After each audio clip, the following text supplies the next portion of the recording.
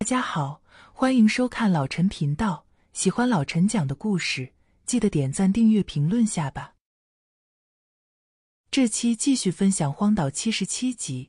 我站在那里看着姚翠花，我心里暗道：虽然姚翠花的苗毒和功夫很是厉害，但是老子现在是暗劲初级。如果我突然对姚翠花发起攻击的话，那她也不一定能挡得住。毕竟暗劲初级的速度不是他们能想象得到的。我虽然心里已经有了对付姚翠花的打算，但是我并没有马上动手，因为我不知道姚翠花是不是要把蛊虫丹给我。姚翠花到目前为止对我一直没有什么敌意，而且我刚才救了她，她如果把蛊虫丹给我的话，那这事也太不符合逻辑了。我站在那里想了一下，并没有贸然动手。我揉了揉鼻子，看着姚翠花问道：“姚教主，你打算把什么东西给我？”我心里已经打定了主意，如果姚翠花要是把蛊虫丹扔到我面前，那我二话不说，手里的石头直接就飞出去，先把姚翠花的双手给废了再说。我虽然心里是那么想的，可是我脸上却没有表现出来任何的异常。姚翠花看了我一眼，她看着我说道：“黄先生，今天您救了我，为了表示对您的感谢，我把这个东西送给您。”姚翠花说完。他直接就把一个东西朝我扔了过来，那个东西看起来亮晶晶的，似乎是个铁器。我当时也没有多想，直接就在空中接住了那个东西。我把那个东西拿在手里，发现那个东西是一块银牌，那块银牌打造的非常精致，但是那块银牌上面的图案却看起来很是奇怪。我本来以为姚翠花是五毒教的教主，他给我的东西肯定会有毒虫那些图案。可是那块银牌上面却只雕刻了一个人，那个人似乎围着头巾，他的肩膀上还扛了一个锄头。我看着那个图案，心中暗道：这是什么意思？姚翠花看着我说道：“黄先生，那个图案是神农尝百草。我们五毒教虽然是苗人，但是我们苗人也是从中原这边迁过去的。我们的祖师爷是神农，所以我们也拜神农。”黄先生，如果你以后遇到什么难解的毒或者是蛊虫的话，都可以拿着这个银牌去找本地的苗人，那些苗人会通知我的。我一旦收到消息，就会马上赶过来的。我听了姚翠花的话，心中暗喜，有了姚翠花的承诺，那我以后再也不用担心那些毒药了。江州和魔都都有很多人挑着扁担卖茶叶，那些人都是苗人打扮。如果我遇到麻烦的话，直接去找他们就是了。我站在那里看着姚翠花说道：“姚教主，那我就不跟你客气了。以后如果你来江州这里的话，可以来找我，到时候我请你吃饭。”姚翠花看着我笑了笑：“黄先生，您这就不地道了吧？我虽然刚到江州，但是我也早就听说了，您是个人物，您将来肯定不会只局限在江州这个小地方的。”也许过不了多久，您就去魔都了。你可别忘记了，回头我去魔都，你一定要请我吃饭。我听了姚翠花的话，心中暗道：他妈的，姚翠花的消息也够灵通的了。我还没有怎么着呢，他就猜到了我回头要去魔都。我看着姚翠花摆了一下手，我说的话绝对不会忘记的。不管什么时候，只要你来找我，我肯定请你吃饭。我说完，转身就走出了那个仓库。我没有从苗药厂的大门那里出去，因为那里坐了两个保安。那两个保安肯定是姚翠花的手下，但是万一他们阻拦我的话，还得跟他们解释。我直接走到了我翻进来的那个地方，我两手一扒，就从围墙那里翻了出去。我直接钻进了车里，我快速的朝医院驶去。一路上，我把车开得飞快，我老担心黑熊和弟兄们又会有人顶不住。我到了医院之后，直接就去找黑熊他们那个科室的主任。我们住院的兄弟大概有几十个人，我把相同数量的解毒丸交给了那个科室主任。那个主任听说这就是解药，他没敢耽搁，马上就让手下的医生和护士把那些药给我们的兄弟一人喂了一颗。我站在病房里，我看着那些兄弟每人吞了一颗解毒丸，我站在那里紧张的看着他们。可是没一会，一些兄弟就上吐下泻了起来。为他们解毒丸的那个医生当时就有点慌了，他二话没说，转身就朝主任办公室跑去。那个医生一边跑一边大喊：“主任，你快来看看吧，那些人的情况不对，那个解毒丸似乎让那些人的病情更加严重了。”那个主任听到喊声，他急忙快速的从办公室里跑了过来，他看着病房里的那些病人。不禁皱起了眉头，我看着那些兄弟的样子，心里暗道：他妈的坏了！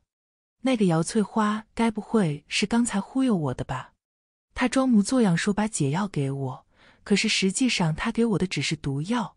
他妈的！如果姚翠花给我的是毒药，那老子说什么也得灭了他们五毒教。那个主任看着病房里呕吐的那些人，他还没有来得及说话，这时。旁边的重症室又传来了护士的叫喊声：“主任，你快来看看吧！那几个昏迷的病人在那里不停的动，他们也在那里呕吐了起来。”主任听到护士的喊声，他转身就朝旁边的重症监护室跑去。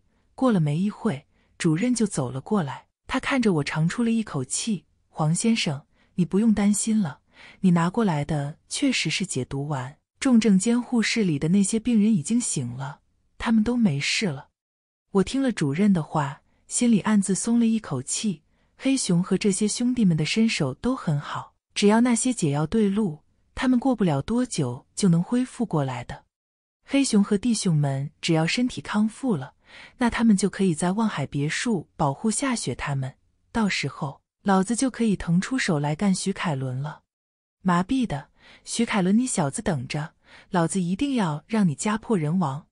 黑熊这小子的身体素质最好，他去附近的厕所里转了一圈。他再回来的时候，看起来已经没什么大事了。黑熊看着我说道：“黄先生，您这药还真管用，您就别在医院这边待着了，您先回去吧，省得望海别墅那边。”黑熊没把话说完，但是我知道他的意思。夏雪他们都在望海别墅那边，可是望海别墅那里没有我们自己的兄弟。夏雪他们三个人在那里不安全。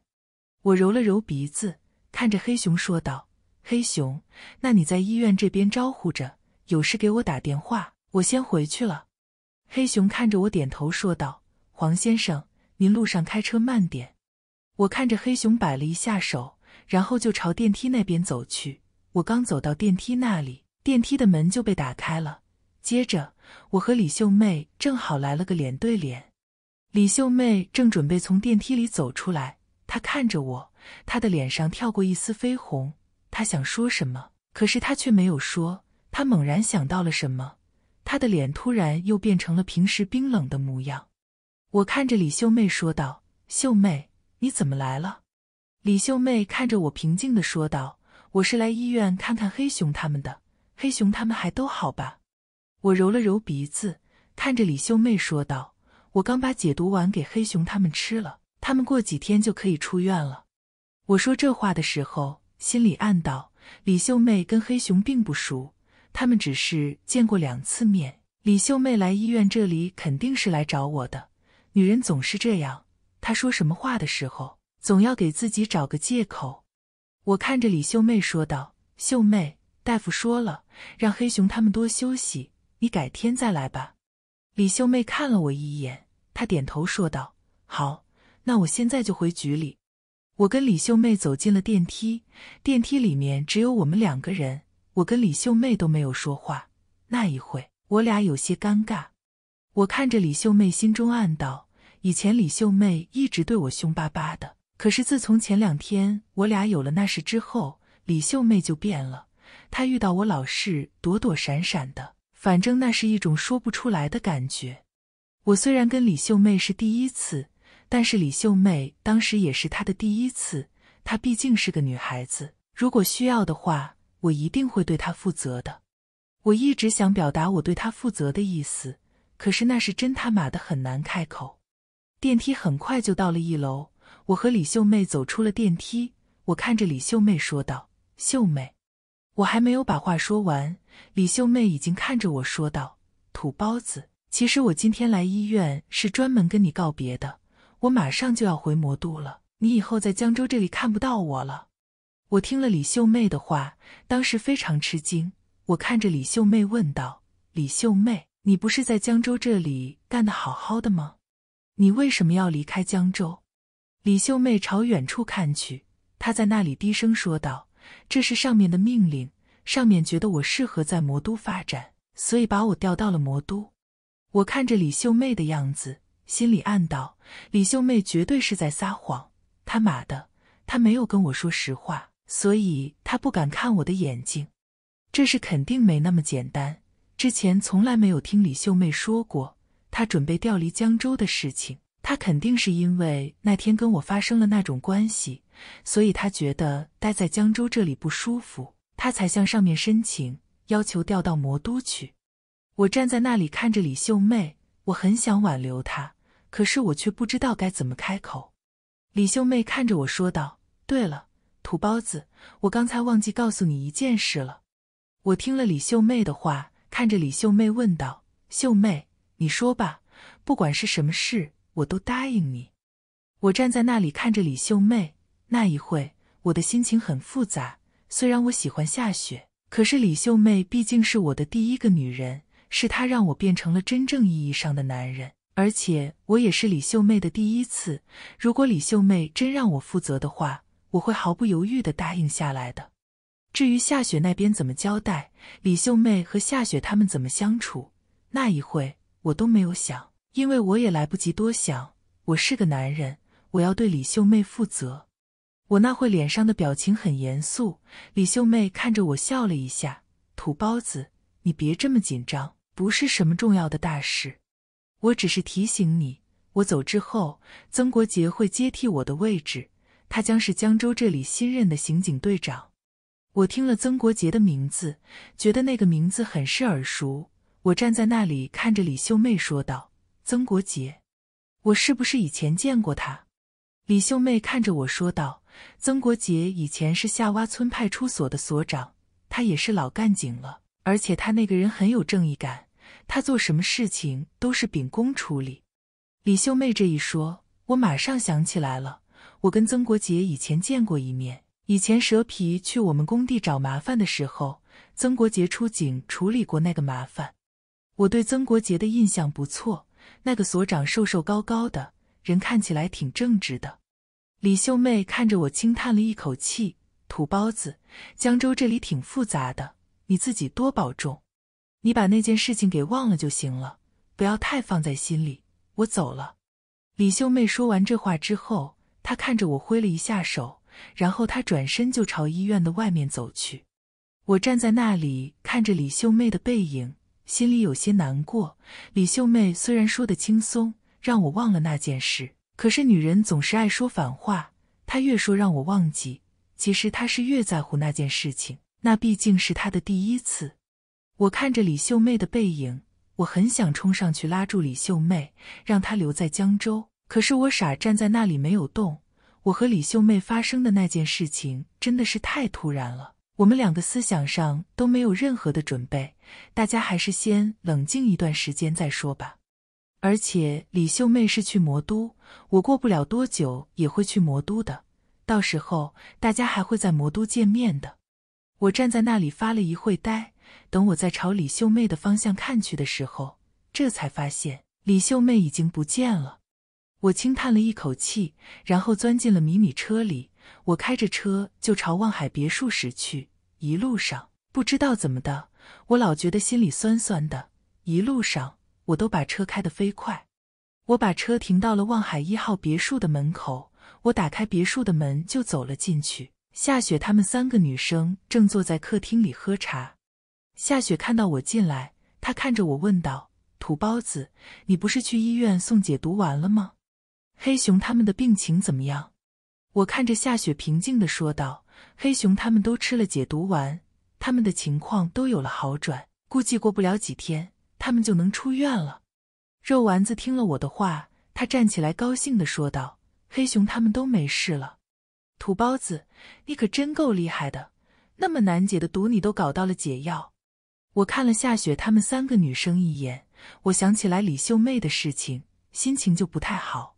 我看着他们说道：“你们三个聊，我有点累，我先上去休息了。”我转身就上了二楼，我走进了自己的房间，然后躺在了那里。我想起李秀妹走时候的样子，心里就有些窝火。麻痹的徐凯伦，都是你小子搞出来的事情。要不是你小子勾结五毒教的人，李秀妹也不会被毒蛤蟆给下毒，老子也不会为了救李秀妹而跟他发生那种事情。一直以来，我都是个非常传统的男人，我一直想着要把自己的第一次给夏雪，我想跟夏雪在一起一辈子。可是我没有想到，李秀妹竟然是我的第一次，而且李秀妹跟我发生了那样的事情，她的心里肯定很难过。我跟夏雪她们三个女生住在一起，虽然我们没有发生什么事，但是傻子也能看出来我们三个之间的感情。李秀妹如果想跟我发展的话，那她的机会非常渺茫。所以李秀妹选择了逃离，她离开江州就是为了不看到我和夏雪他们。他妈的徐凯伦，老子一定要搞死你！我点燃了一根白沙，吸了一口，我在那里琢磨了起来。毒蜈蚣当时说过，徐凯伦从金三角那里搞了很多粉过来，那批货值不少的钱，他肯定是想用那批货的利润来填徐家那一个亿的资金缺口。毒蜈蚣说了，那些粉都在一辆大货车上，那辆大货车上拉了很多的石头，可是毒蜈蚣也不知道那些粉藏在什么地方。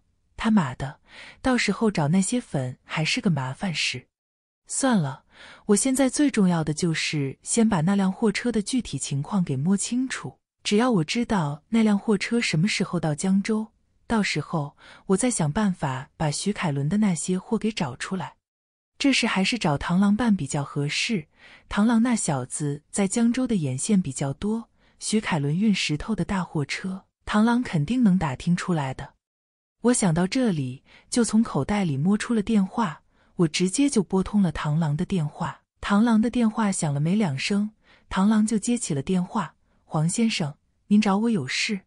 我对着电话说道：“螳螂，你帮我打听一个消息，徐凯伦最近有辆大货车从滇南那边到江州，货车上装满了大石头，我需要知道那辆货车的具体信息。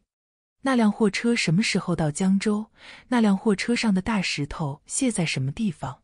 对了。”还有粉哥阿四那边的人有没有过来？这些消息你都要打听清楚。螳螂听了我的话，他在电话那头应道：“黄先生，我明白了，我现在就把事情放出去，兄弟们有消息的话就会马上通知我的。”我对着电话又叮嘱了螳螂几句，然后就挂断了电话。我的心里突然觉得有些疲惫，我把电话扔到了一旁，然后躺那就睡了起来。第二天早上，我在别墅里吃了早餐之后，直接开车就去鼎盛地产了。我最近一直忙解读完的事情，所以好几天没来地产公司了。我得来地产公司转转，省得谁又给老子捅娄子。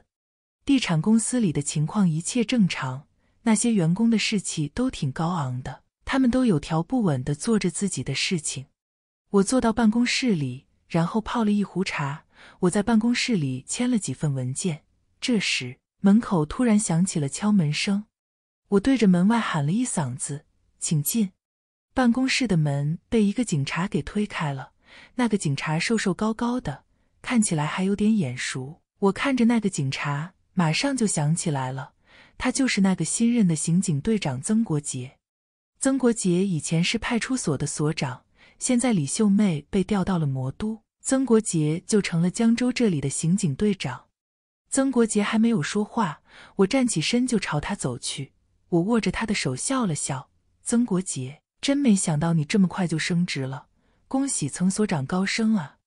曾国杰听我直接喊出了他的名字，他脸上的表情很是惊讶：“黄先生，您这记性也真是太好了，咱们只是以前见过一面，没想到你还能记得我。”我看着曾国杰说道。曾队长，您一脸正气，我怎么会忘掉呢？对了，曾队长，您今天来这里找我有什么事？曾国杰看着我说道：“黄先生，是这样的，我今天来摆放你呢，是有件小事想跟你说一下。”我听了曾国杰的话，心里觉得有些奇怪。曾国杰应该是今天刚上任，他怎么刚当上刑警队长就来找我？难道曾国杰手里有我的什么把柄？他想过来跟我谈谈不成？我虽然心里有些膈应，可是我还是看着他淡淡的说道：“曾队长，虽然我们只是一面之缘，但是我觉得曾队长应该是一个非常正直的人。您有什么事情就尽管说吧。”曾国杰干了那么多年的警察。他也是个非常厉害的人，他看我说话的样子，就知道我对他产生了误会。曾国杰看着我笑了笑：“黄先生，是这样的，我来找您呢，是有件小事想跟您商量一下。我现在是江州刑警队的队长，江州这里的所有刑事案件都归我管。我知道您前段时间和徐凯伦有点过节，你俩之间斗得厉害，我希望黄先生能放下成见。”不要跟徐凯伦进行任何形式的私斗，我也是为了黄先生着想。毕竟一个和平安宁的江州对大家都有好处。曾国杰这话说得很平静，他的话里没带一点火药的味道，他的话就像朋友之间唠嗑一样。我看着曾国杰，心里暗道：曾国杰是个老条子，他在处理这些问题上确实有一套。他刚当上队长就来拜访我。按照道上的话来说，他也算是给足了我面子。曾国杰刚才在说我和徐凯伦事情的时候，他的声音一直不大，他始终保持着一种平和的态度。他是怕引起我的误会。我坐在那里，心中暗道：这个曾国杰的人还不错。老子本来就没有打算跟徐凯伦进行私斗，我就算答应曾国杰的要求也没什么。反正徐凯伦从金三角那里运了一批粉过来，到时候我就直接把那个消息透露给曾国杰。曾国杰是刑警队长，徐凯伦在他的眼皮子底下进行毒品交易，这简直是打曾国杰的脸。曾国杰肯定不会放过徐凯伦的。我只需要掌握好时间，等徐凯伦和粉哥阿四进行交易的时候，把消息透露给曾国杰，剩下的事情。那就好办多了。曾国杰身为一个有正义感的警察，他肯定不会放过徐凯伦和粉哥阿四的。曾国杰见我没有说话，他看着我问道：“黄先生，你有难处？”我揉了揉鼻子，看着曾国杰笑了笑：“没有，我没有任何的难处。我身为一个守法的公民，维护江州这里的和平和安宁，那是我应尽的责任和义务。”至于我和徐凯伦之间的恩怨，那都是小事情。曾队长，你就放心吧，我绝对不会和徐凯伦进行私斗的。现在曾队长是江州的保护神，我一定会支持曾队长的工作。以后如果我有什么违法犯罪的消息，一定会及时通知曾队长的。曾国杰听了我的话，他看了我一眼，我的态度让他有点意外，不过他也没有说什么。他把自己的名片放到了我的桌子上。黄先生，有事你可以给我打电话。那我就不打扰您的工作了，我就先告辞了。我看着曾国杰说道：“曾队长，我送送你。”我把曾国杰送到了门口，曾国杰朝我挥了挥手，然后他就走了。曾国杰走了之后，我在办公室里又处理了一会公司的事情。我处理完那些公事，看了一下时间。已经到中午了，我想了一下，反正公司也没什么事情，不如我现在就回望海别墅。毕竟望海别墅那里没有什么人，可别一不留神夏雪他们又出了什么事情。我开着车就朝望海别墅驶去。我回到别墅的时候，发现夏雪他们三个女生正坐在那里吃午饭，而且看他们三个女生的样子还都挺开心的。我看着他们还没有说话。叶子琪已经看着我问道：“包子哥，你吃饭了没有？”我看着叶子琪说道：“我就是专门回来吃午饭的，赶紧的，先给我盛三碗米饭，我今天要好好的吃上一顿。”叶子琪放下碗，他转身就朝厨房走去，没一会，他就把米饭和筷子给我拿了过来。我接过饭碗，朝桌子上看了一眼，我这才发现今天的午饭挺丰盛的。光是硬菜都好几个，有红烧鱼、烧鹅和卤肉什么的。我看着肉丸子问道：“肉丸子，你们吃的也太腐化了。还好我今天赶了回来，看来哥今天很有口福啊。肉丸子听了我的话，他用手拢了拢自己的头发。土包子，你这家伙，今天是个高兴的日子，所以当然得加菜了。我听了肉丸子的话，看着肉丸子问道：“肉丸子，今天又不过节，又不干啥的，怎么是个高兴的日子？你到底有什么高兴的事？快说出来，让我也高兴高兴。”肉丸子看了我一眼，他看着我，嘿嘿笑了笑。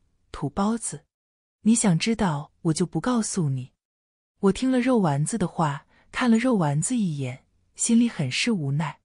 我看着肉丸子说道：“切肉丸子，刚才是哥心情好，你现在就算想告诉我，我也没心思听了。”夏雪吃了一口菜，她看着我说道：“土包子，今天确实是个高兴的日子，黑熊和弟兄们全都出院了。我刚才给黑熊他们了五千块钱，让黑熊带着弟兄们出去搓一顿。”我们三个女生就在家里加了几个菜。我听了夏雪的话，心里非常高兴。真没想到，黑熊他们竟然这么快就出院了。我看着夏雪问道：“黑熊和弟兄们的身体都怎么样？”夏雪看着我说道：“黑熊过来的时候，我问了一下，他说他和兄弟们都完全康复了。那些解毒丸很是灵验，他们没有一个人落下毛病。”我心里暗道。只要黑熊他们全都没事就行。我正打算最近就搞徐凯伦呢，我一直还有些担心夏雪他们，我老怕我离开望海别墅之后，徐凯伦会找人偷偷的来对付夏雪他们。夏雪他们毕竟是女生，他们的自保能力不行。现在黑熊和弟兄们的身体都康复了，有黑熊和弟兄们保护夏雪，夏雪他们的安全，我就不用再担心了。我可以腾出手来，专心的干徐凯伦了。肉丸子见夏雪已经把黑熊的事情告诉了我，他看着我说道：“土包子，你先吃饭，等会黑熊他们就回来了，到时候你可以亲自过去看看黑熊他们。毕竟黑熊他们上次为了保护我们，也没少出力。上次那几个苗人扔毒粉的时候，黑熊和那些兄弟虽然明知道那些毒粉厉害。”但是他们也是顽强的抵抗。黑熊当时就在那里大喊：“弟兄们，顶住！多撑一分钟也是胜利。咱们多撑一分钟，也许黄先生就赶回来了。”肉丸子这一说，叶子琪也在旁边说道：“包子哥，上次黑熊他们确实挺勇敢的。”我看着肉丸子和叶子琪点了点头：“行了，我知道了。”我刚吃了一会饭。就听到大院里传来一阵嘻嘻哈哈的笑声，我站起身朝外面看了一眼，原来是黑熊带着弟兄们回来了。他们那些人的气色看起来都不错，他们都走进了望海三号别墅。我又吃了两口饭，然后我放下饭碗，跟夏雪他们打了个招呼，就出了一号别墅。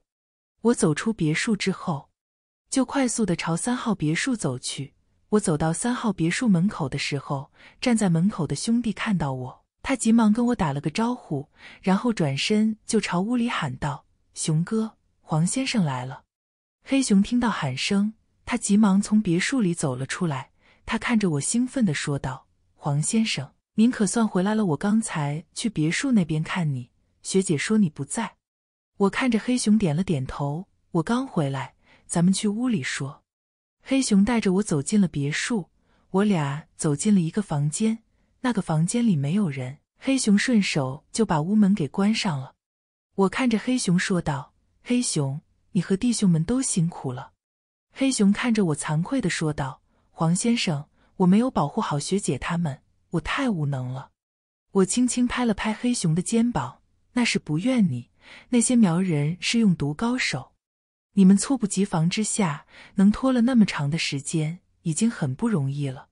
对了，那几个苗人已经离开了江州，他们死了两个，重伤了一个，还有一个女的活着。那个女的以后看到我们只会害怕，她以后再也不会对我们下毒。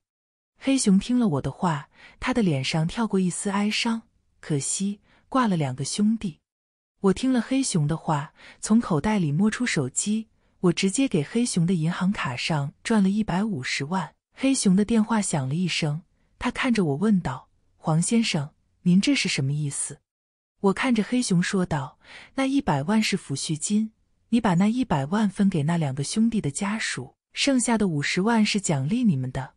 你把那笔钱跟弟兄们都分了吧。”黑熊看着我急道：“黄先生，您平时给我们开的薪水就够高的了，这钱我不能要。”我看着黑熊怒道：“你小子别跟我客气了，你招呼好兄弟们，平时只要保护好夏雪他们就行。我还有事。”我就先走了，我转身就走出了三号别墅，我直接朝望海一号别墅走去。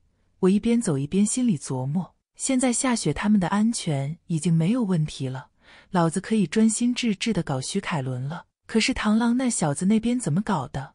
他怎么到现在还没有给我打电话？我正在那里想着，我的电话突然就响了。我从口袋里摸出电话一看，只见电话是螳螂打来的。我心里当时就兴奋了起来。他妈的，螳螂那边有消息了！我和女同学的荒岛生涯，我没有犹豫，站在那里就接起了螳螂的电话。我对着电话问道：“螳螂，是不是有消息了？”螳螂在电话那头说道：“黄先生，我刚得到消息，粉哥阿四的一个手下在半个小时之前已经到了江州。只不过那个人到了江州之后，他就直接住进了宾馆。”他跟徐凯伦并没有马上联系。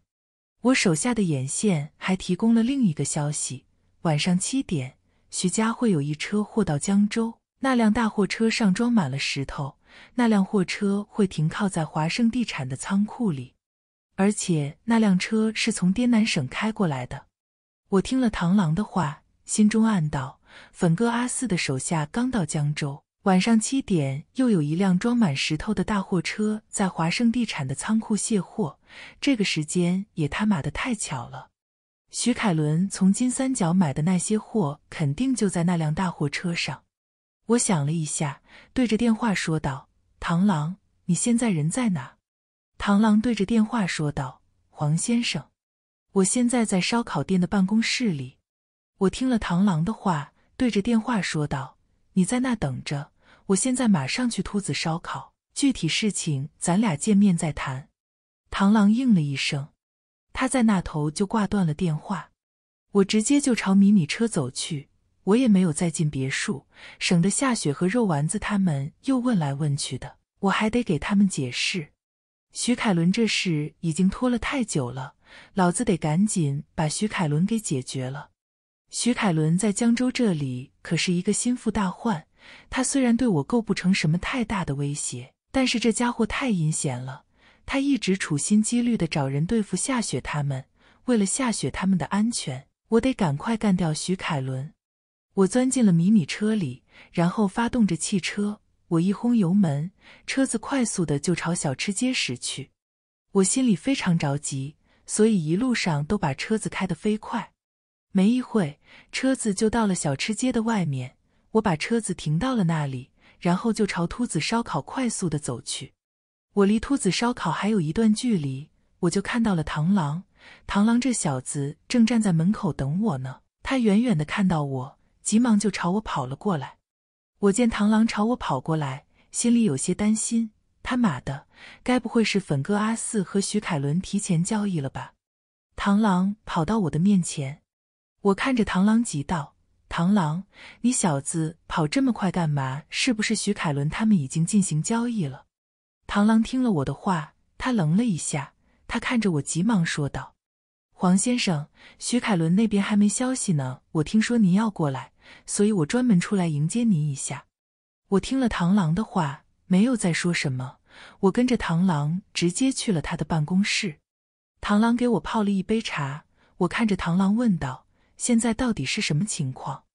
螳螂看着我，急忙解释道：“黄先生，粉哥阿四的手下在宾馆里一直没有出来。粉哥阿四本人很少露面，所以大家都不认识粉哥阿四。这次来江州的是粉哥阿四的一个马仔，那个马仔叫沙皮，他经常在外面活动，道上很多人都认识他。所以他一到江州，我的手下就通知了我。但是沙皮一直住在宾馆里，到目前为止。”他都没有走出宾馆一步。那些做粉的平时都很小心，沙皮不出宾馆，这也符合他的风格。估计七点前沙皮就会出宾馆的。我听了螳螂的话，坐在那里想了一下。我看着螳螂问道：“螳螂，徐凯伦那边有什么动静？”螳螂看着我说道：“徐凯伦人还在华盛地产的办公室，他今天的表现很是异常。平时他很少在办公室待，他去办公室最多也就是半个小时。他处理完公事就走了。今天徐凯伦竟然从早上待到现在。”他肯定是在等那批货的消息。我已经安排兄弟们到高速的各个路口了，只要那辆货车进入江州，我们马上就会知道的。我听了螳螂的话，坐在那里，心中暗道：一个人的承受能力是有限的，他往往在经历人生重大事情的时候，会做出跟平时不一样的举动。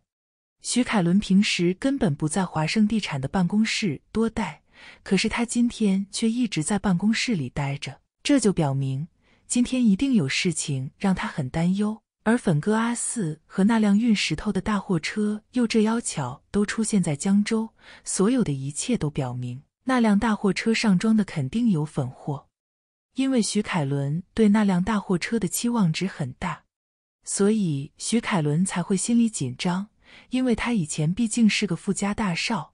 他从来没有干过这种买卖，他第一次做这种肮脏的生意，他心里承受的压力肯定很大。螳螂坐在那里看着我说道：“黄先生，您在我办公室里休息一会吧，我先去下面招呼一下生意。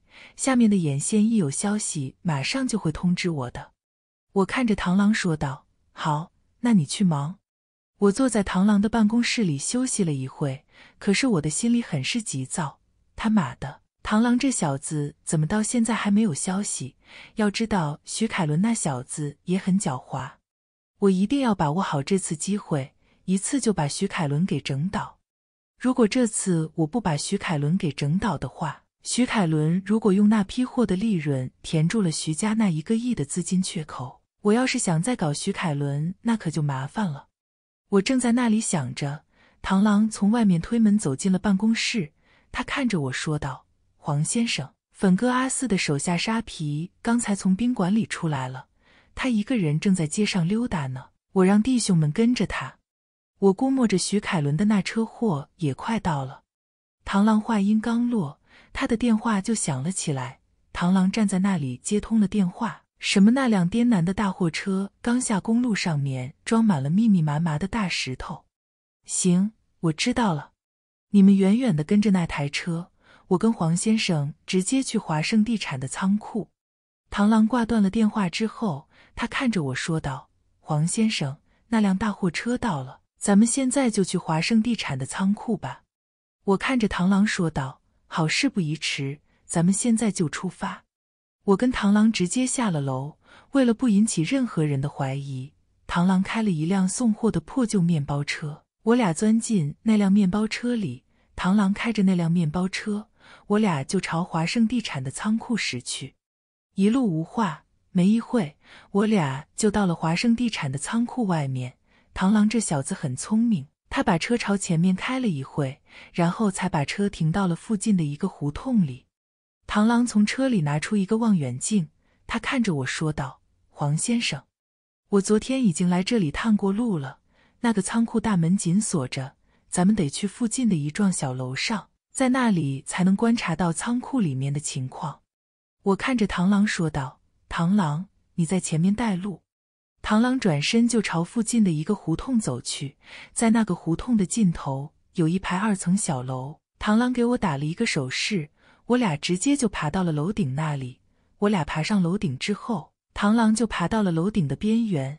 他趴在那里用望远镜看了一会，接着他突然就兴奋了起来。他直接把望远镜递给了我，黄先生，您快看，沙皮来了。我接过望远镜，朝远处的仓库看去，只见仓库院子里面出现了一个戴墨镜的猥琐男人。那个男人穿着西装，戴着墨镜，他的脑门上有很多皱纹，他那样子看起来确实有点像一只沙皮狗。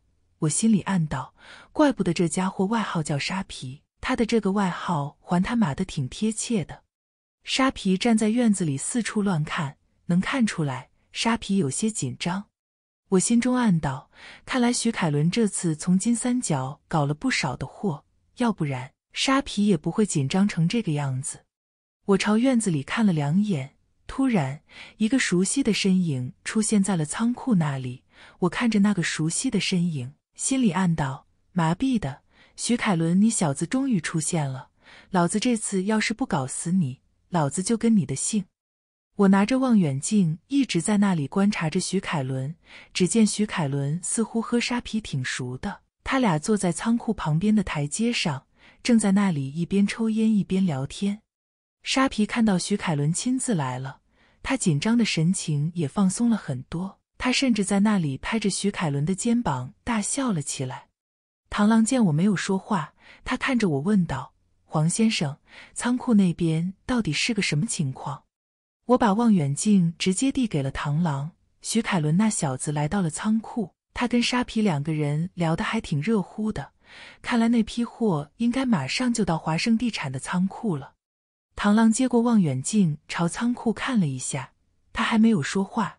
这时，他的手机突然轻轻的震动了一下。螳螂从口袋里摸出手机看了一眼，他看着我低声说道：“黄先生，跟着那辆大货车的兄弟给我发消息了，他们说那辆大货车在江州兜了半天的圈子，他们现在正朝华盛地产仓库这边开过来。那两个兄弟说，那辆大货车估计二十多分钟以后就会到达华盛地产的仓库。”黄先生，您现在可以给条子那边打电话了。如果那些条子来得太晚，沙皮他们也许就走了。我听了螳螂的话，心中暗道：毒蜈蚣说过，徐凯伦从金三角那边进的那批货数量非常巨大，所以徐凯伦才亲自来这里和沙皮交易。那批货肯定在那辆运石头的大货车里。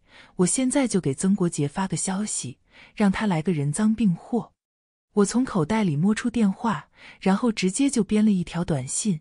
我在短信上简明扼要的说了一下，我说得到一个情况，听说有一批货将在华盛地产的仓库进行交易，那批货的购买方是粉哥阿四的手下沙皮，那些货在一辆运石头的大货车上，那辆大货车估计在三十分钟以内到达华盛地产的仓库。这次交易的数量非常巨大。那些歹徒非常凶狠，他们甚至携带了很多威力巨大的枪支，所以还望曾队长小心才是。要不是那些人太凶狠，我直接就把那些歹徒给制服了。我把短信发过去之后，曾国杰就快速的回了我一条信息，他说他们也得到了沙皮来到江州的消息，但是他们还没有掌握到沙皮具体的行踪。既然我提供了这么有用的线索。曾国杰会马上带人赶到现场的。我看到那条短信，心中暗道：既然曾国杰也知道了沙皮的事情，那曾国杰肯定会非常重视这件事情的。他一会就会带着很多干警把华盛地产的仓库给包围的。那些货肯定就在那辆大货车上。只要曾国杰把徐凯伦和沙皮堵到了仓库里，那剩下的事情就好办多了。警方肯定会携带缉毒犬和各种设备来这里的，到时候那些缉毒犬和设备就会把大货车上的那些粉给找出来的。我把手机揣到了口袋里，螳螂看着我问道：“黄先生，条子那边怎么说？”我揉了揉鼻子，看着螳螂淡淡的说道：“我已经把消息放给曾国杰了，等会曾国杰就会带人过来的。曾国杰他们赶到的时候。”徐凯伦和沙皮他们肯定正在那里交易，曾国杰直接抓他们个现行，到时候来个人赃并获，看徐凯伦那小子还怎么说。螳螂听了我的话，他看着我笑了笑，他也没有再说什么。我俩趴在那里朝远处的仓库望去，大概过了没一会吧，就见一辆大货车开到了仓库院子的门口，那辆大货车上装满了大石头。我拿望远镜朝那辆大货车看了一眼，发现那辆大货车的牌照是滇南牌照。我看着那辆大货车，心中暗道：他妈的，徐凯伦运货的车已经来了，不知道曾国杰那边怎么样了。要是曾国杰来晚的话，没有在现场抓到徐凯伦，那这事可就不好办了。华夏这边的法律讲究人赃并获，如果是在现场抓到徐凯伦，那徐凯伦就算是想狡辩，那他也说不清楚。可是如果徐凯伦不在现场的话，那警方要想控告他的话，那可就有点不容易了。因为毕竟华夏这里有很多牛叉的律师，那些律师可以找到漏洞，把徐凯伦给绕出来。那辆大货车开进仓库之后，徐凯伦和沙皮都兴奋地站了起来。那两个司机也从车上跳了下来。徐凯伦上前给那两个司机发了两根烟，接着他就让那两个司机去隔壁办公室休息了。徐凯伦拉着沙皮绕着大货车走了起来。他一边走一边指着车上的石头，似乎在给沙皮讲解着什么。沙皮听了徐凯伦的话，他在那里不停的点头。我看着徐凯伦和沙皮的样子，心里更加确定了。他妈的，那批货肯定就在那辆货车上。徐凯伦和沙皮绕着货车走了一圈，接着他俩就站到了那里，看他俩的样子，似乎是在商量什么细节。这时，几辆黑色的越野车突然停到了仓库的附近。接着，曾国杰带着很多刑警出现在了仓库的周围。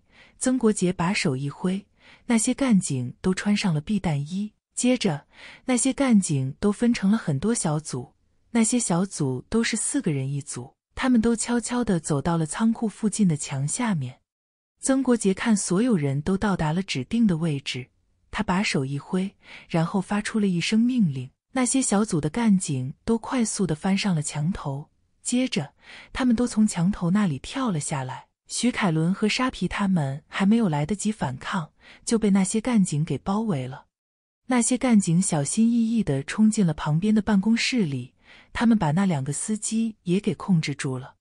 其中的两个干警打开了院子的大门，曾国杰带着其他的干警冲进了仓库。曾国杰站在那里看了徐凯伦一眼，他还没有来得及说话，徐凯伦已经在那里叫嚣了起来：“姓曾的，你要搞清楚，我可是华盛地产的少东家，你带着这么多人突然冲进来，这是怎么回事？你现在赶快把我给放了，要不然这事闹大了可不好收拾。你要知道。”我徐家在江州这里经营了那么多年，我徐家在江州的人脉可不是你能想象得到的。你要是放了我，这事我就不跟你计较了。如果你现在不放了我，我回头就把这事捅到上面去。我倒要看看你这个刑警队长还怎么干。曾国杰站在那里看了徐凯伦一眼，他看着徐凯伦不卑不亢的说道：“徐少，你不要那么嚣张。”我来这里也只是公事公办。我们接到其他人的举报，说有人在华盛地产的仓库进行肮脏交易。我们警队当然得来这里看看。不管是任何人，只要他触犯了法律，就一定会受到法律严惩的。我身为一个警务人员，当然得打击犯罪。至于其他的事，如果徐少想往上面闹，就往上面闹吧，我无所谓。我做事对得起自己的良心。曾国杰那番话一说，徐凯伦马上就有点蔫了。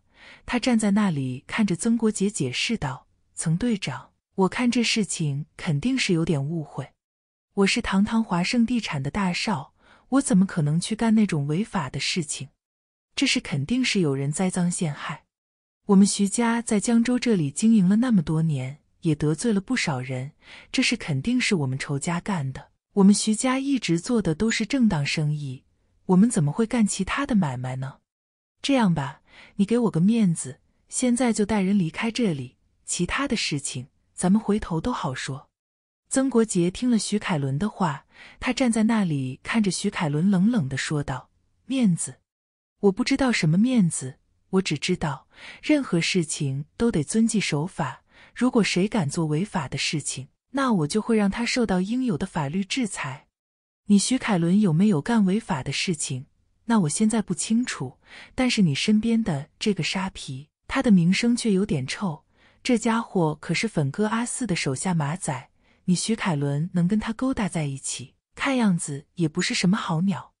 徐凯伦听了曾国杰的话，他站在那里很是生气。他看着曾国杰冷笑了一下：“好，我现在就让你们搜。你们要是搜不出来什么东西。”老子就要你们的好看。曾国杰看了徐凯伦一眼，他发现徐凯伦脸上的表情很是镇定。曾国杰心里暗道：麻痹的，这小子的表情怎么看起来那么镇定？该不会是消息有错？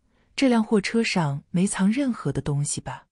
曾国杰虽然心里这样想，不过现在他已经事成骑虎。他站在那里，把手一挥：“弟兄们，给我仔细的搜这辆货车，一定要把那些东西给搜出来。”那些条子在那里应了一声，接着他们一部分人站在那里，把徐凯伦他们控制了起来；另一部分人则快速的忙碌了起来，他们纷纷朝外面跑去。他们从外面的车上拿下来了很多仪器，有些人甚至牵来了缉毒犬。可是那些条子在那里忙碌了半天，那些仪器和缉毒犬都没有什么异常的反应。曾国杰站在那里看着那些条子，问道：“你们一定要搜查仔细点。我们根据线报，那些货就藏在这辆大货车上。”那些条子站在那里向曾国杰汇报着情况，报告曾队。我们已经用仪器对整台货车检查过了，没有在这辆货车上发现任何异常的地方。曾国杰听了那些条子的话，他的脸色有点难看。他站在那里看了一眼牵着缉毒犬的那些条子。你们那边有没有什么发现？缉毒犬的鼻子很灵，缉毒犬有没有找到那些货藏在什么地方？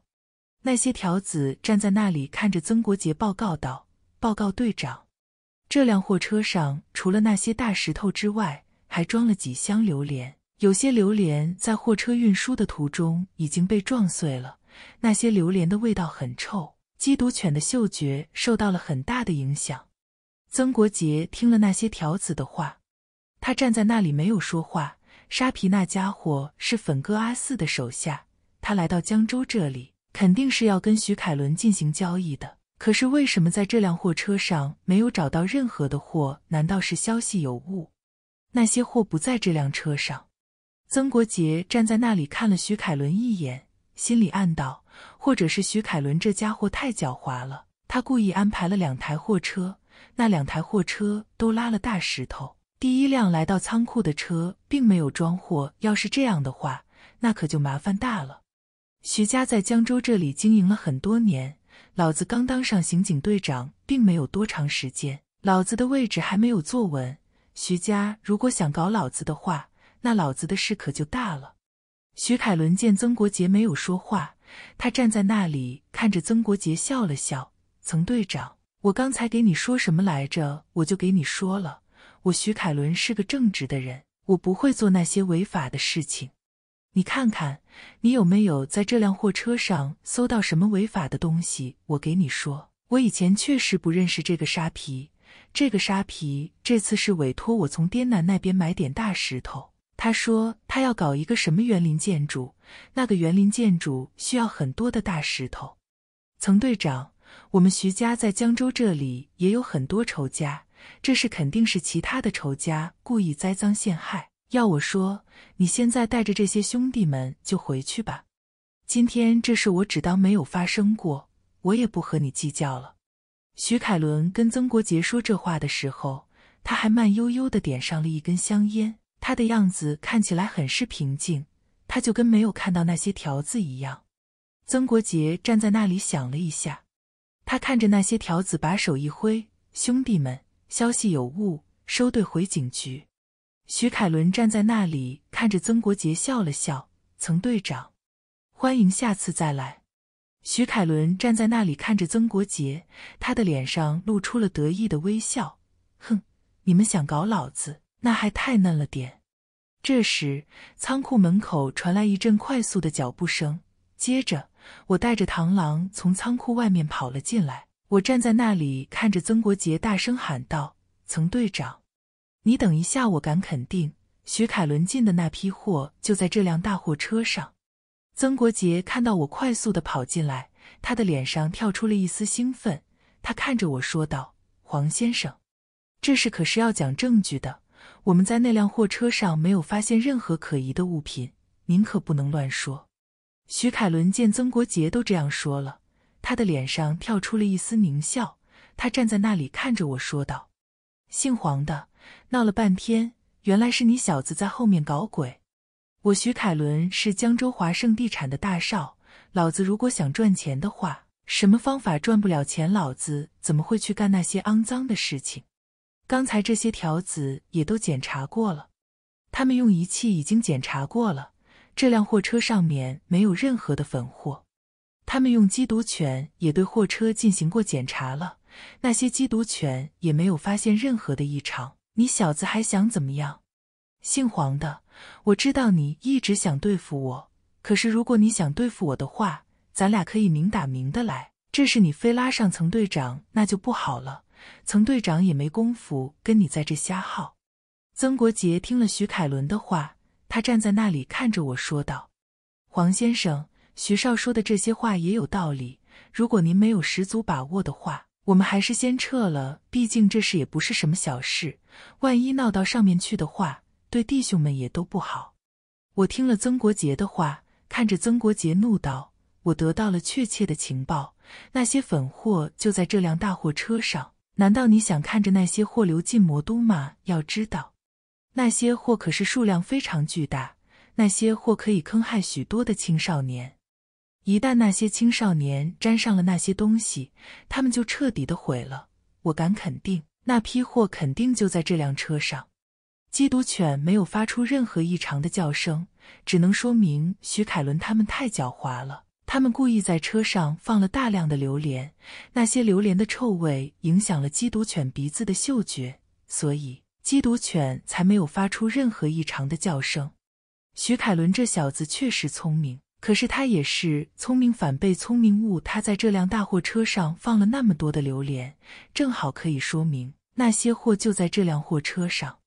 徐凯伦听了我的话，他并没有生气，他站在那里不停的拍起了手。姓黄的，你说的真他妈的精彩，老子觉得你比天桥下面那些说书的人还会讲故事。既然你口口声声说那些货就在这辆大货车上，那老子今天就看看那些货到底藏在什么地方。如果你等会找不到那些货的话，那你就是冤枉我，这事我可跟你没完。别说你是鼎盛地产的老总，就是曾队长，我也得把他一块告到上面去。我江州徐家可不是这么好欺负的。我听了徐凯伦的话，我站在那里没有吭声。我可以百分之百的肯定，这辆大货车上藏着那些货，因为这些事情都太凑巧了。毒蜈蚣说过，徐凯伦从金三角买了一大批货过来，那些货都藏在一辆运石头的大货车上。粉哥阿四的手下沙皮刚到江州，然后过了几个小时，这辆运石头的大货车就到了江州。这个时间也太凑巧了吧！我已经让螳螂问过手下的那些眼线了，今天整个江州只有这一辆大货车上运的有石头，所以徐凯伦的那些货肯定就在这辆大货车上。我刚才一直在那里用望远镜观察徐凯伦。徐凯伦虽然表面上看起来很淡定，但是他左手的尾指那里却一直不停的抽搐。他的那个小动作证明他的内心非常紧张。他的那个小动作就说明了那些货肯定在这辆车上。可是我虽然猜到了那批货就在这辆大货车上，但是徐凯伦肯定把那批货藏得很隐秘。他妈的！要是老子找不到那批货怎么办？我站在那里，心中也有些焦急。老子这次好不容易才抓住机会搞江州徐家，要知道我是好不容易才让徐家出现了一个亿的资金缺口。如果徐凯伦把一个亿的资金缺口填上，那他转身就会反击我的，到时候我和夏雪他们都会遇到危险的。所以，我这次必须要搞定徐凯伦。我要给徐凯伦来个人赃并获，只有认账并获，徐凯伦才会进监狱，老子才能顺势把徐家给搞垮。徐凯伦见我在那里半天没有说话，他的脸上露出了一丝狞笑。姓黄的，你不是说老子的货车上有猫腻吗？你现在就赶快把那些粉货给老子拿出来啊！你他妈的，倒是搞死我呀！黄石，我现在就告诉你，你这次搞不死我。你和你的那些女人都得死。徐凯伦似乎觉得刚才那句话还不过瘾，他站在那里看着我，淫荡的笑了一下。你放心，听说你的那些女人都不错，我会慢慢的把那三个女人都给玩死的。你最喜欢的那个女人是不是夏雪？哈哈，我会让她最后一个死的。徐凯伦说这话的时候，他站在那里猖狂的笑了起来，他不停的在那里大笑，他的眼角都笑出了泪水。我看着徐凯伦的样子，心中暗道。这就是他马的江湖。如果老子这次不搞死徐凯伦，那么我马上就会被徐凯伦给搞死。我站在那里，心中很是愤怒，因为徐凯伦这小子刚才说到了夏雪他们。一直以来，夏雪他们三个女生都是我的逆鳞，不管是任何人，只要他们想动夏雪，那他们只有一个结果，那就是死。我心中突然涌起了滔天的怒意，那种怒意非常强大。我心里的杀气也被那股怒意给点燃了。我双眼冷冰冰的看着徐凯伦。那一会，徐凯伦在我面前不再是人，他只是一具可以行走的尸体。徐凯伦看了我一眼，他浑身马上就哆嗦了起来。他被我眼中的那股杀气给吓到了。他站在那里提醒着我：“姓黄的，你要干什么？曾队长和那名多警察都在这里，我就不相信你敢杀人。”我听了徐凯伦的话，并没有说话。那一会，我只觉得心里的那股怒气非常强大，那股怒气让我心里很是不爽。我真的很想大喊，很想杀人，可是这里站了那么多的条子，老子不能大喊，也不能杀人。他妈的，这种感觉真的是太压抑了。突然，我只觉得丹田那里一动，那股愤怒的气息马上就朝四周散了开来。那种感觉真的很奇怪，那种感觉就跟我暗劲初级的感觉一样，可是那种感觉又不完全一样，那种感觉似乎比暗劲初级的感觉强大了很多，那种感觉似乎有了一种模糊的穿透力，反正那种感觉真的有点说不清楚。我以前在突破暗劲初级的时候，可以观察到地气的变化，可是现在那种感觉有点模模糊糊的。我似乎能感受到其他人身体里骨骼和内脏的变化，虽然那种感觉还不是很清晰，但是跟以前完全不同。我站在那里看着徐凯伦，我甚至能感觉到徐凯伦心脏跳动的很快，他的心脏一下接一下的跳动，他的心跳次数跟其他人的不一样，他的心跳次数明显要快多了，那种感觉真的是太奇妙了。我站在那里，心中一动。既然我能感受到其他人的内脏和骨骼的变化，那我是否能感觉到那辆大货车的异常呢？一直以来，徐凯伦都在那里很镇定。虽然他强装镇定，但是他的各种小动作表明，他肯定把那些货藏在了那辆大货车上。我慢慢的收缩心神，我把那种感觉用在了那辆大货车上。我只觉得那辆大货车其他的地方都没有什么异常，但是那辆大货车的车厢钢板那里似乎不太对劲。那辆大货车的车厢底板那里似乎密密麻麻的堆了很多东西。他妈的，徐凯伦的那些粉货就藏在车厢的钢板下面。徐凯伦这小子之所以那么猖狂，那是因为他对自己的方法比较有信心。他对那辆货车的车厢钢板进行了改装。他在车厢钢板的下面做了个夹层，他把那些货全都给焊在了夹层里面。我站在那里，心中暗道：“他妈的，徐凯伦，老子这次就一把整死你！”徐凯伦打死也想不到，他刚才说的话竟然让我的身体发生了这么大的改变。如果他知道他的那句话能有这么大的效果，那他估计得狠抽自己的嘴巴。徐凯伦站在那里看着我，得意的笑道。姓黄的，你小子怎么变哑巴了？你刚才不是在那里很嚣张吗？你刚才不是说老子的货就藏在这辆大货车上吗？你他妈的倒是把那些货给老子找出来啊！你小子想他妈的诬陷我？你还太嫩了点！我听了徐凯伦的话，站在那里揉了揉鼻子。我看着徐凯伦，淡淡的笑道。你个傻逼！你真以为我不知道你的那些货藏在什么地方吗？老子刚才只是逗你玩而已。我转身看着曾国杰说道：“曾队，徐凯伦这小子确实在那辆大货车上藏了很多的货，那些货就在那辆大货车的车厢钢板下面。那个车厢钢板是个夹层，徐凯伦把那些货都放在了那个夹层里面。徐凯伦听了我的话，他当时腿就软了，他扑通一下就坐到了地上，他的脸变成了一团灰白色，他坐在那里不停的哆嗦了起来。沙皮那小子听到我说的话，他二话不说，直接就朝旁边快速的跑去。那些干警见沙皮准备逃跑，那些干警二话不说，一个个都跟狗撵兔子一样，直接就把沙皮给扑翻在了地上。曾国杰朝徐凯伦和沙皮看了一眼，他眼中跳出一丝兴奋的光芒。他站在那里看着其他干警，一挥手：“你们几个快去车厢下面看看，看看那些货是不是藏在车厢钢板那里。”几个干警应了一声。他们拿着撬棍之类的东西，就朝车厢下面爬去。没一会，他们就从车厢下面钻了出来。他们看着曾国杰会报道：“报告队长，车厢下面的钢板确实有个夹层，我们刚把钢板那里搞开一个小洞。”缉毒犬就大叫了起来。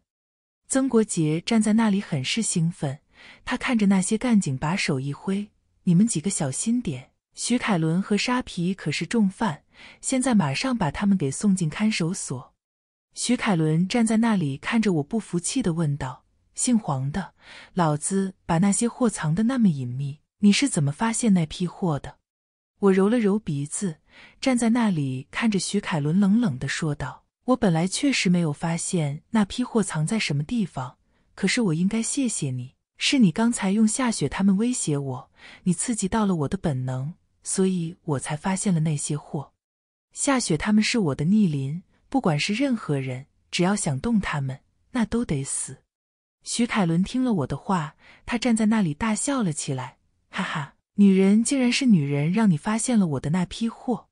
沙皮站在那里看着徐凯伦，啐道：“姓徐的，你小子刚才在那里啰里吧嗦的说了半天，要不是你说半天废话，这小子也不可能发现那批货。”沙皮看着我，恶狠狠地说道：“姓黄的，你小子完了！你知道老子是谁的人吗？我是粉哥阿四的手下，你竟然敢搞粉哥阿四的货！这个消息马上就会传到魔都去的，粉哥阿四肯定会让你小子玩完的。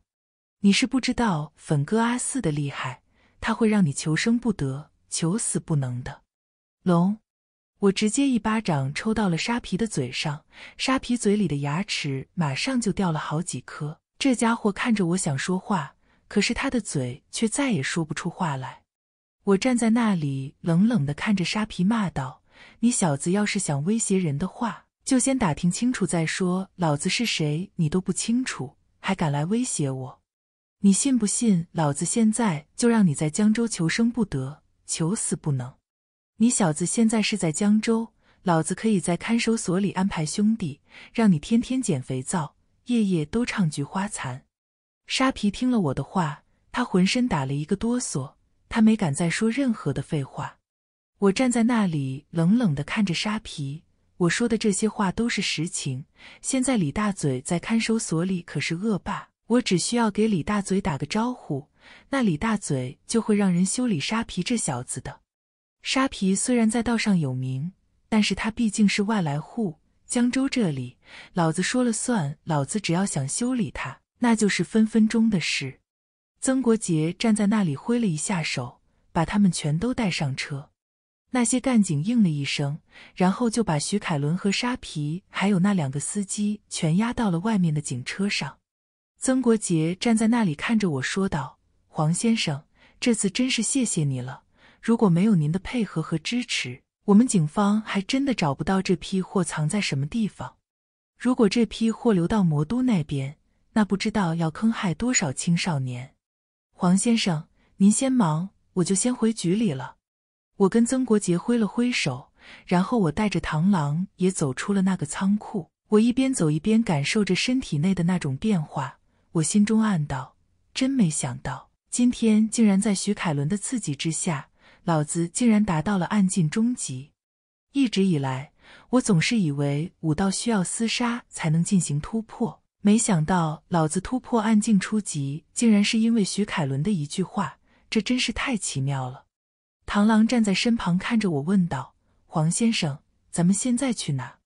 我站在那里看着螳螂，笑了笑。咱们现在去看守所看看李大嘴。螳螂听了我的话，他看着我，脸上也露出了微笑。黄先生，您可是真够坏的。我俩直接朝面包车那里走去。就在这时，一辆警车突然停到了我俩的面前。曾国杰从警车里钻了出来，他看着我说道：“黄先生，我能不能单独跟您说两句？”